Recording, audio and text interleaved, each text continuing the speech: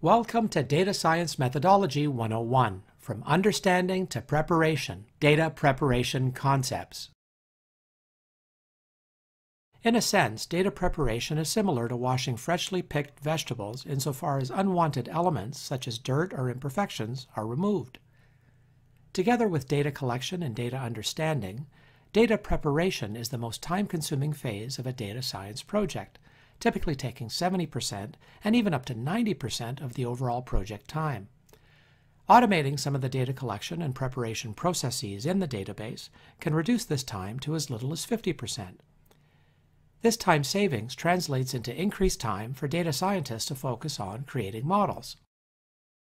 To continue with our cooking metaphor, we know that the process of chopping onions to a finer state will allow for its flavors to spread through a sauce more easily than would be the case if we were to drop a whole onion into the sauce pot.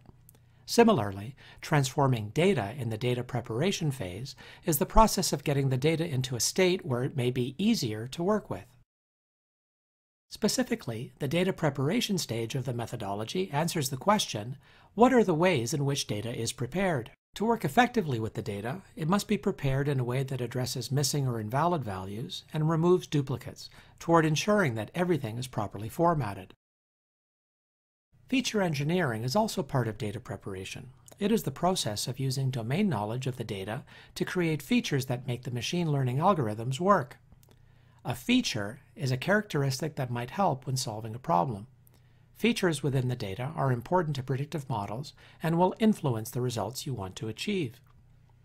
Feature engineering is critical when machine learning tools are being applied to analyze the data. When working with text, text analysis steps for coding the data are required to be able to manipulate the data. The data scientist needs to know what they're looking for within their data set to address the question. The text analysis is critical to ensure that the proper groupings are set and that the programming is not overlooking what is hidden within. The data preparation phase sets the stage for the next steps in addressing the question. While this phase may take a while to do, if done right the results will support the project. If this is skipped over, then the outcome will not be up to par and may have you back at the drawing board. It's vital to take your time in this area and use the tools available to automate common steps to accelerate data preparation. Make sure to pay attention to the detail in this area.